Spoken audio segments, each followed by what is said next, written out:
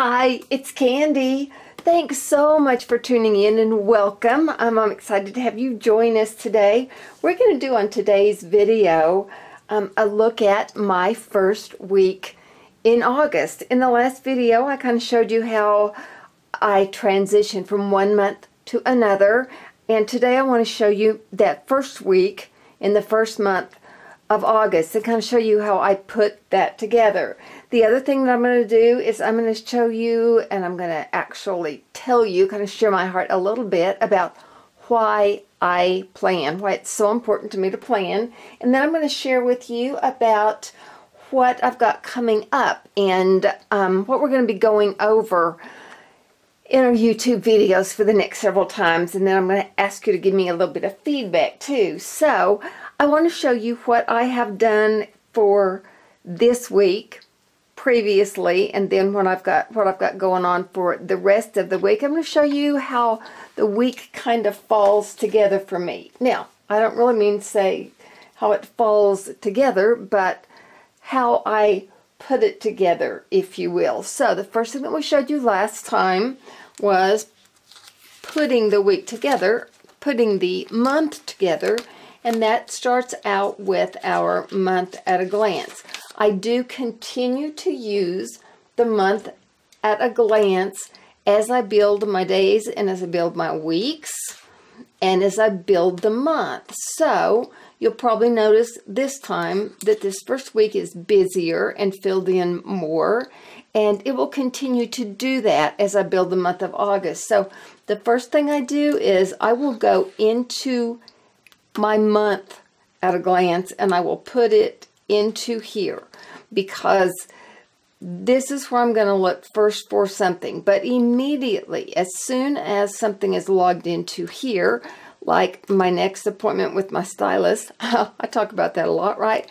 But as soon as I had that done yesterday, we made another appointment and I go immediately and plug her into my month at a glance and then from there, I go to my daily appointments and I put it on that day's page also. So I build my month and then I build my days, okay? So there she is on, nope. There she is on this day. So I know this is going to be a little bit longer of a day, so I kind of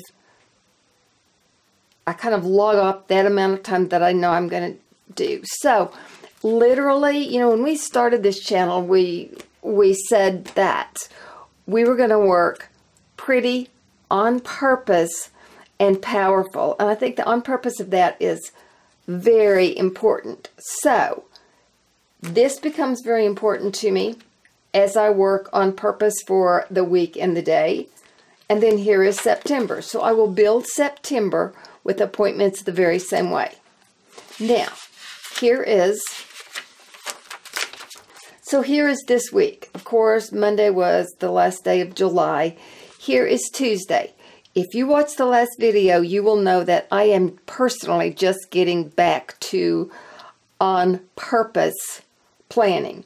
So Tuesday was a lot of getting it back together. And I'm certainly not going to tell you that right now I got it together, but I am working on getting it back together.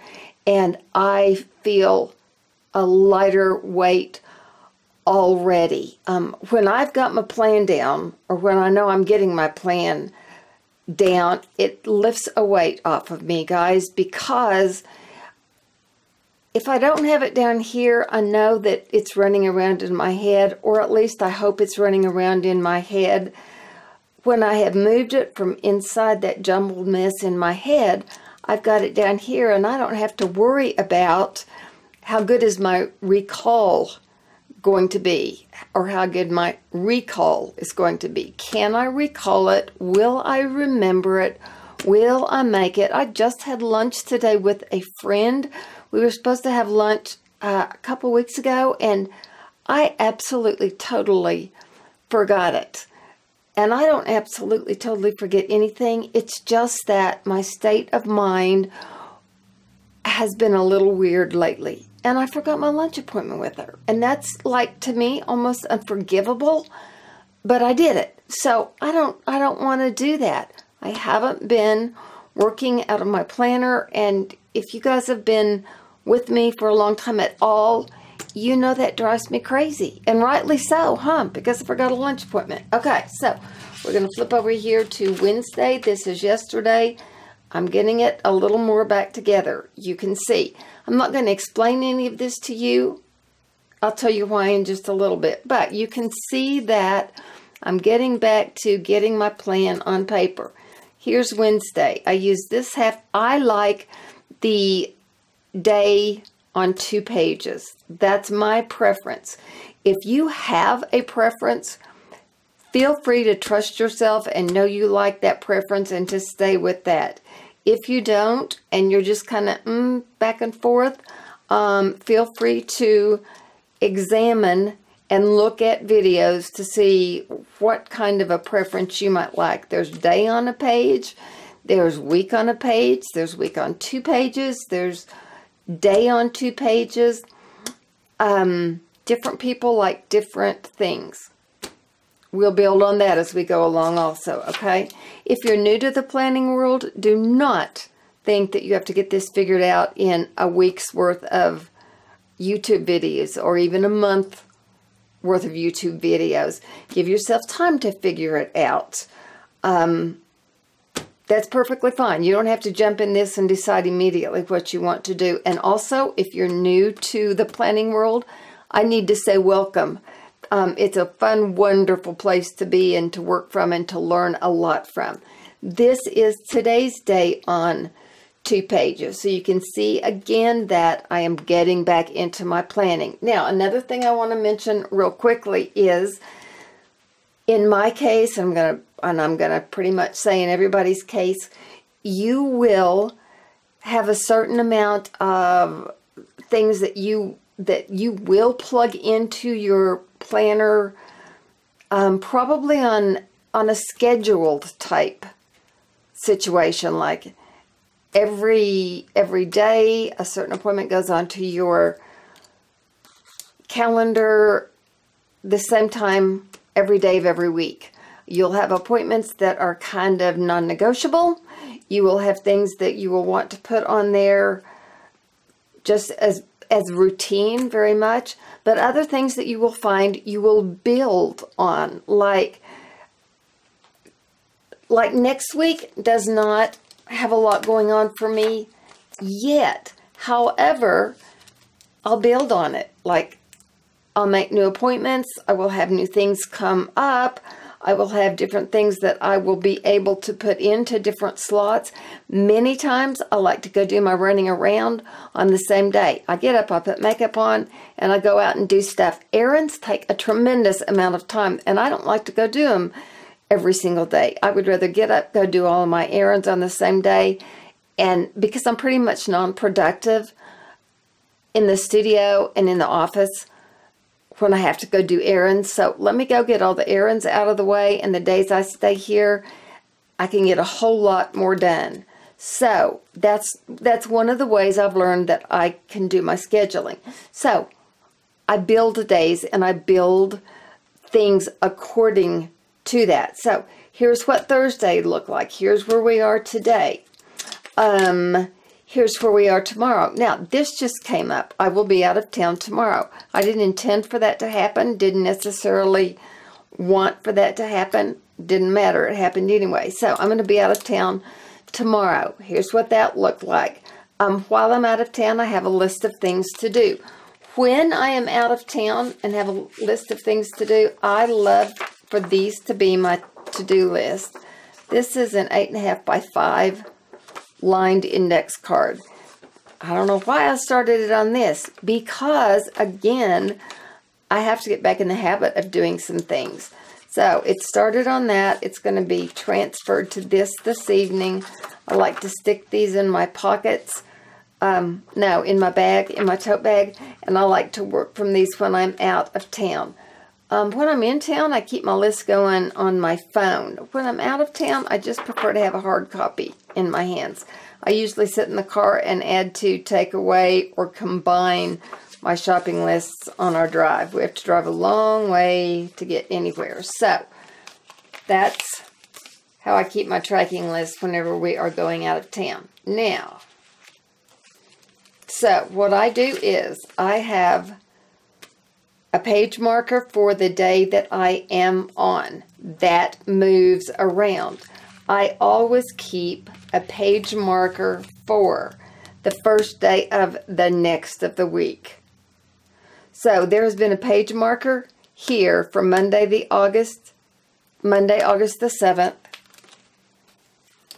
This has been there every single day of every day this week because what I find is will I, I build the next week as I'm going through this week. It happens a lot, so it's great for me to just have this page marker right here for the entire next week. I'm probably trying to explain to you a little more than I should right now. I was just, I wanted to show you how this week came together.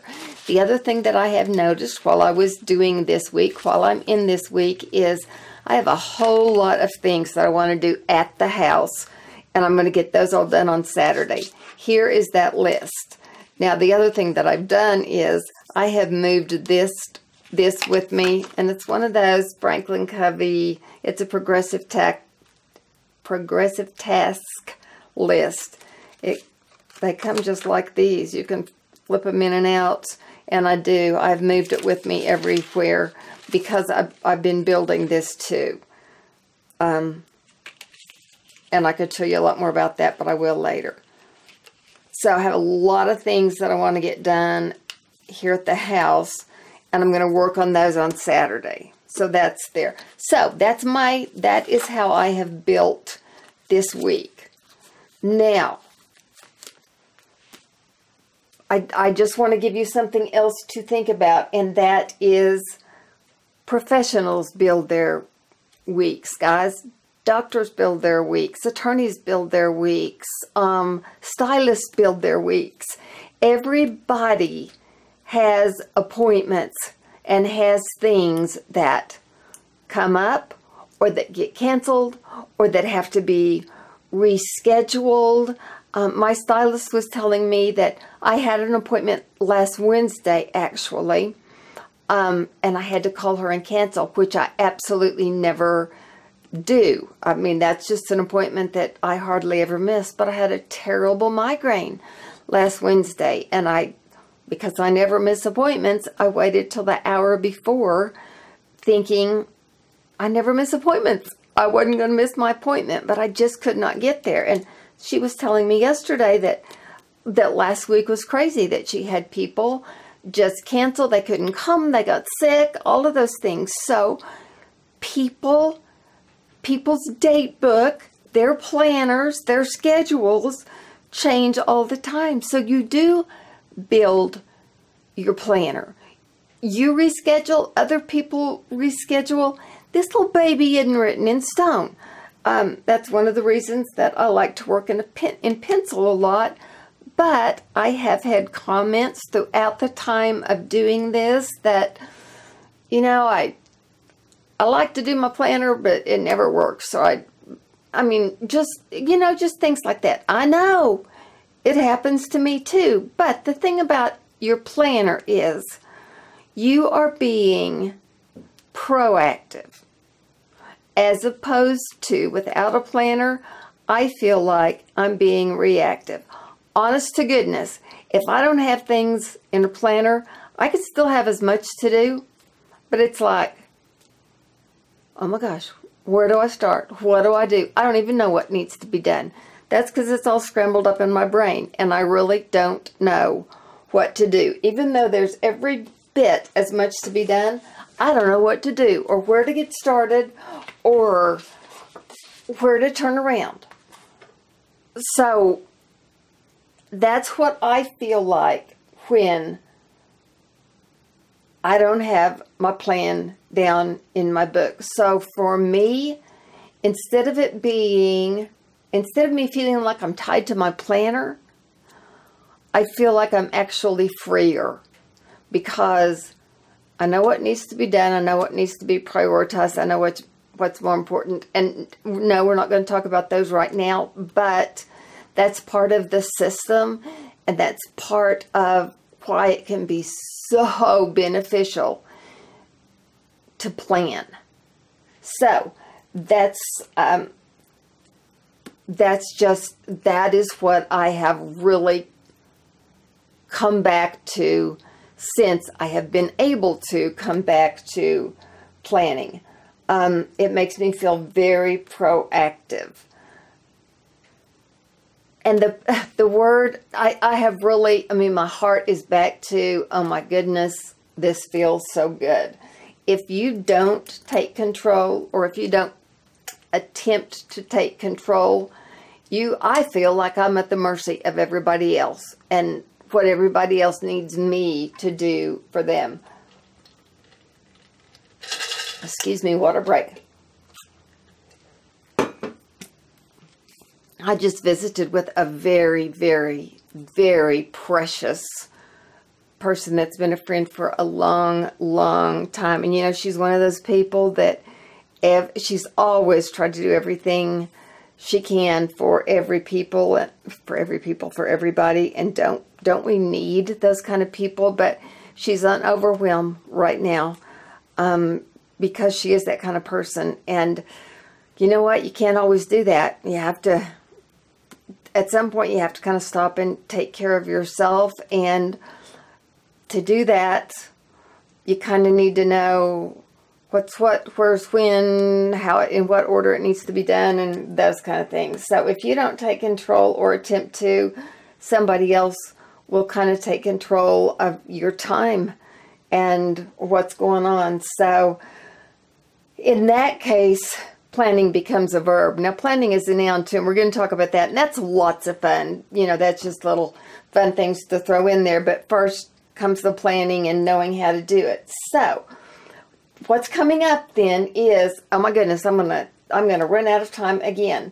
We are going. I think it's good. I want to go back to the basics, and for our newcomers, teach the basics, and for us, those of us that aren't newcomers, remember the basics and get back to the basics and know the basics. So I kind of want to go back to like a basic training type thing. Is there a is there a funner word for basic trainer basic training or you know get back to the ABCs or fundamentals or that is my idea of where to move forward is I guess to kind of go backwards and to go back to the the basics of well all the bells and whistles are going off aren't they um, to go back to the basic training. So that's my idea of of where to go now. So if you like that idea, would you please comment where it gives you the opportunity to do that and let me know if you think that would be great to just revisit some of those things or if you have other ideas. And then the other thing I wanted to do was I wanted to do a sister video. So many of you have asked about um, would I do a video with my sister. I will tell you, I think she would do it. She'll be kicking and screaming the whole way, but I think she would do it anyway. But I would like to have questions because she'll say, what are, what are we going to do? What are they going to ask us? What, what am I going to have to do? So I think if, you know, she knew what kind of a video, and I don't even, I mean, I wouldn't even know what to tell her. So comment with some kind of questions that you would, um, I mean, what, what would you want us to do on a sister video? And then I could kind of get going in a direction and give her something, you know, give her something more solid.